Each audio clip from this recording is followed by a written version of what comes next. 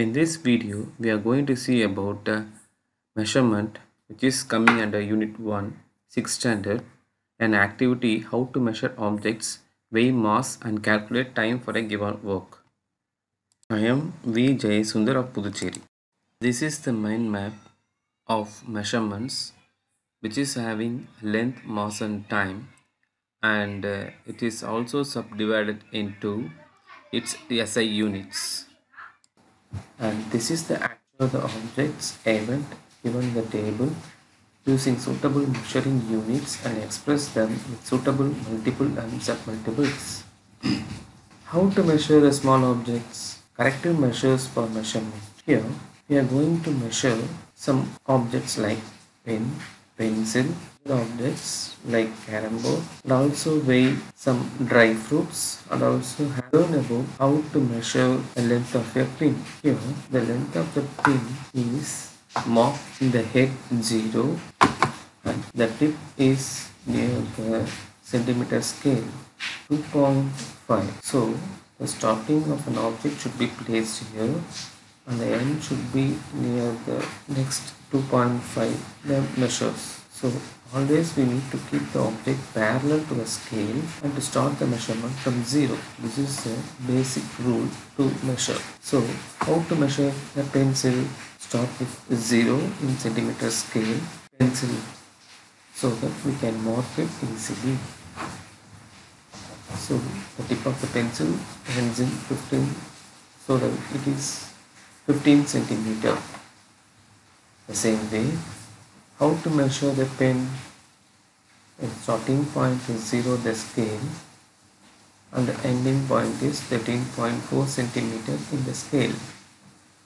So this is the way how to measure a pen when using a centimeter scale. So how can we measure in non-rigid objects or the ornament or round or any other shapes like thing?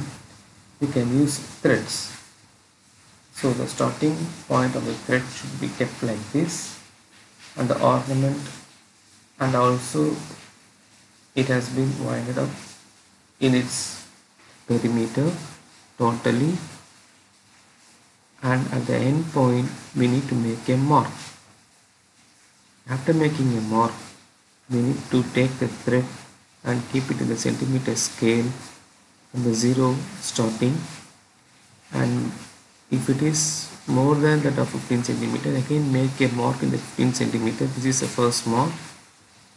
So after that as the first mark is here. The end point comes here.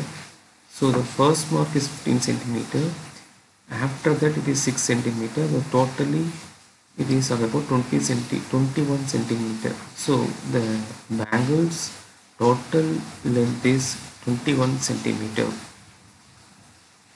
How to measure a large objects? We need to use this kind of tapes for measuring large objects. So the same way I'm going to measure the carom board. The starting point is 0 here. So the end point is 34 it is showing so it is 34 centimeters so the tape is centimeter wise unit so totally it is 34 centimeter and also how to measure distance between two places. It can be measured by means of map. So nowadays we are using Google Maps in that when you have been putting starting point and end point the distance will be covered by means of kilometers. So it is of about 5.4 kilometers from Arayanapam to Pondicherry. And mostly in the maps it will be given in kilometers but the length of the unit will be changing. One unit is equal to one kilometer like that. How to weigh mass of an object we can weigh mass of an object by means of measuring electronic scale an electronic scale is an instrument which is nowadays used for measuring mass of an object First we need to start it with power button. After the power button the display will be displayed here. So it is of about 0.02 because there is some error next thing is another button which is showing grams or kilograms. We can able to select in grams or we need to select it in the kilograms. The tab button is after pressing this tab button 0.02 will be coming to 0 every time if you are going to measure some objects we need to tab this button so that only if there is any zero error it will be coming to null zero after that only we need to measure the mass of an object.